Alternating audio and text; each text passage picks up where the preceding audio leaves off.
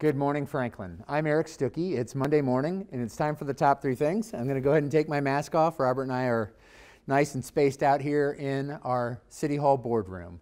And that brings me to item number one. We have uh, some really sad news over the weekend, over the holiday weekend. At large Alderman Pearl Bransford passed away on Friday evening. And Pearl, I'm sitting right by her nameplate and her seat that she's occupied for about 13 years as an at large alderman. Uh, Pearl served as 13 years as an alderman, as I said, but also before that, many years on the Franklin Special School District Board. She also long career as a healthcare professional, worked at Vanderbilt Medical and some other facilities, and just a great heart for the community. So we experienced a huge, huge loss in, in Pearl's passing, and we honor her in her service to our community. She will be greatly, greatly missed. She cared deeply about Franklin, and Franklin loved Pearl. And so we will miss her. And we just wanted to start with that because that's really important. The type of service she provided to this community and the, the passion and the care and the grace with which she, she served is an inspiration to all of us. So uh, say a prayer for Pearl's family, her many, many friends, and for our community as we work through this, this time of loss. So that's item number one. Uh, remember, remember Pearl Bransford and her great, great service.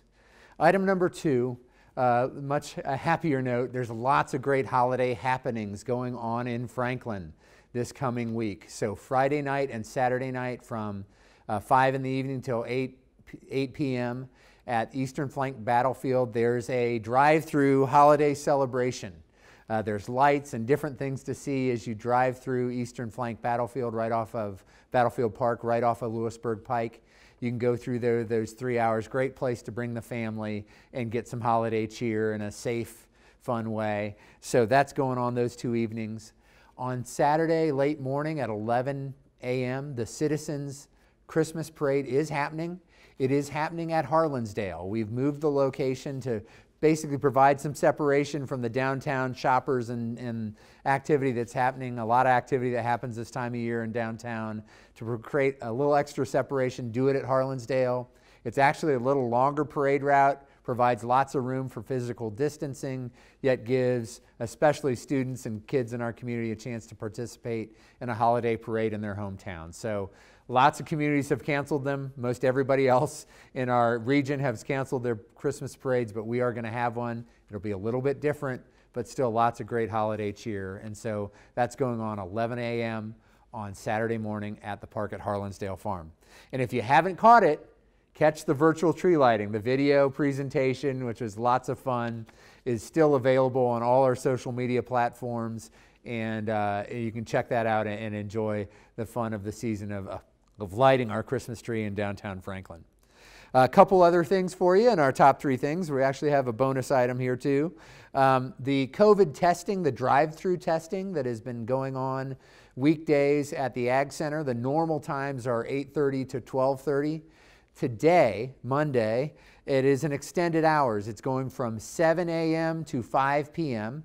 Uh, you can do drive-through testing. It's pretty quick and easy. And I've been advised by the health department, county health department, that they're getting results back as quickly as within 24 hours. So you can get a pretty quick result if you're wanting to get a test done. And it's nice and convenient, as I said, drive-through at the Ag Center down in Southeast Franklin. And then our final item, our bonus item for the week, is we got another really nice recognition this past week from Money Magazine. They rated Franklin in the top 10 communities in America as top 10 places to retire. We were number four on their list as a great place for, for people for their retirement. Uh, we earlier in the fall had been named as a top 10 city as places to live overall. So that's a nice honor from the folks at Money Magazine. So that's your top three things for this week, Franklin. Uh, let me run through them real quick, plus a bonus. First, of course, uh, remembering the great life of service of Alderman Pearl Bransford. Uh, keep that in mind and keep Pearl's family and friends in your prayers.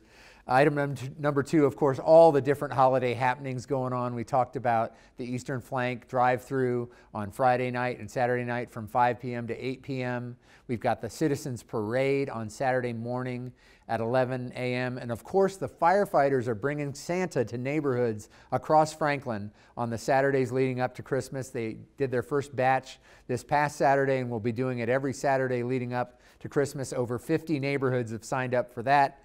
And then, of course, you can check out the uh, tree lighting online, that, that uh, the virtual tree lighting online. The testing services is our item three. COVID testing is available uh, at the Ag Center throughout the week. The typical hours are 8:30 to 12:30, but on Monday today, it'll run from 7 a.m. to 5 p.m. So you can go a little later in the day and get your test.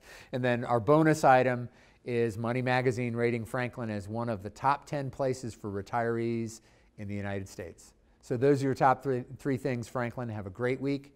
Take care and be well.